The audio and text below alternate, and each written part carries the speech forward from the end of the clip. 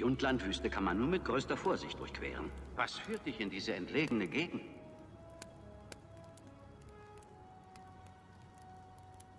Ich war einmal ein Jedi-Ritter und listenreich im Krieg. Über tausend Generationen lang sind die Jedi-Ritter in der alten Republik die Hüter des Friedens und der Gerechtigkeit gewesen, bevor es dunkel wurde in der Welt. Die Macht ist es, die dem Jedi seine Stärke gibt. Es ist ein Energiefeld, das alle lebenden Dinge erzeugen. Es umgibt uns, es durchdringt uns, es hält die Galaxis zusammen.